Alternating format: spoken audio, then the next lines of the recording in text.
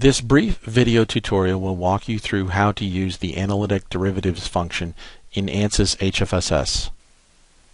In order for analytic derivatives to work, you first need a model that has been parameterized. In this case, we have parameterized the GPS patch antenna with permittivity values for the substrate, the dimensions of the patch, and also the feed location. The project variables can be accessed by going to the menu selection Project, project variables. Here we can see all the variables that have de been defined for this design. The next step in the process is to enable the solution to use those variables for analytic derivatives. So I right click on Setup 1 and select Properties. From there I go to the Derivatives tab on the Driven Solution Setup. Here I can enable which variables I want to use for the analytic derivatives computation. So in our case, I'm going to use chamfer size, permittivity, the feed x and y, and the patch size as my variables for the analytic derivatives computation. I then select OK, and then I analyze the project. There are essentially two different ways to examine the outputs of an analytic derivative simulation. The first is to create a report with all the sensitivity information on one single graph. So to do that, we right-click on Results, Create Terminal Solution Data Report, Rectangular Plot. And I'm going to start by selecting the first sensitivity, and that is the derivative with respect to chamfer size. And what I'm going to do is I'm going to plot the partial of the magnitude of S11 with respect to chamfer size. And I'll click New Report and then Close. Here we're looking at that partial derivative of the magnitude of S11 with respect to chamfer size, and that is displayed across the frequency band of interest. Now, looking at this in and of itself, it doesn't give me a whole lot of information. But when I add the rest of the derivatives to the plot, we can see which variables are going to affect the, the S parameters the most. So I'll right click on XY plot 2 and modify report. From here, I will select permittivity add that trace. I will select the feed values.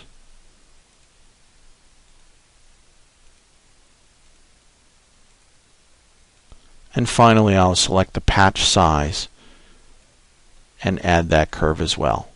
So now what we're looking at is we're looking at a single plot with all the sensitivity information displayed.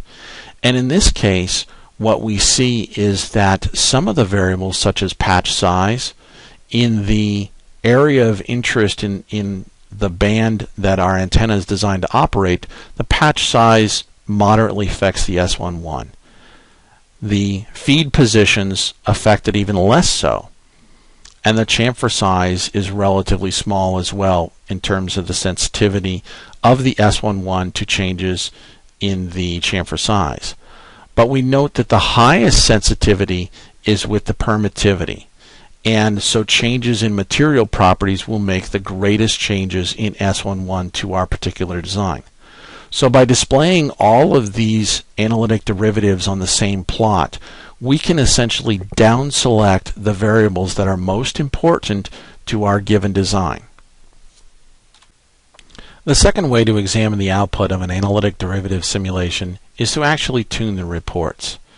And we're going by the notion that if we know the S11 versus frequency and we know derivatives that affect that S11, we can then come up with a new solution. So the first thing we have to do is we have to create a report based upon all the derivatives. So we go to rectangular plot, derivative all, tune terminal S parameter, tune S11 all, new report. And then we close this down. The next thing you that you have to do is you would go to HFSS results, tune reports.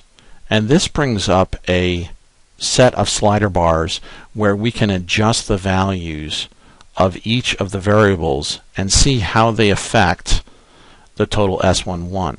So you can essentially tune your S11 based upon the variables and the sensitivity information. Now note that this tuning is based upon the single simulation and the sensitivity values. So those sensitivity values are based only upon small variations around the central design point.